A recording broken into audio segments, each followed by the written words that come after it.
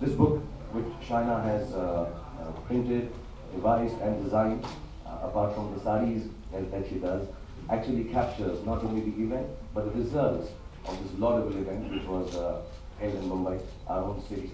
And uh, not only does it historically record the initiative, I think somewhere it's a source of inspiration for other proposals to come forward to take Make in India uh, uh, go even further.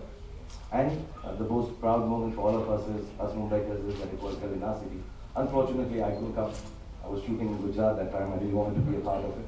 Um, it was held in our city, and I want to uh, genuinely compliment uh, the Honorable uh, Chief Minister Saab, Mr. Fadnavis, and his team of management to create such a mega event and uh, make it such a colossal success. Uh, this book, which Shaina has put, is not just a photo journal. I think we should time and again go through it and figure out in our own small ways हम सब कुछ ना कुछ ऐसा कर सकते हैं अपने काम में अपने धंधे में अपनी जगह में जो मेक इन इंडिया को और आगे बढ़ा सकता है एंड हमारी कंट्री को और प्राउड कर सकता है so I am really thankful for having me over here and thank you for this great initiative and thank you Shaira I would speak a little more but I need to take a tour of this IRC. this year.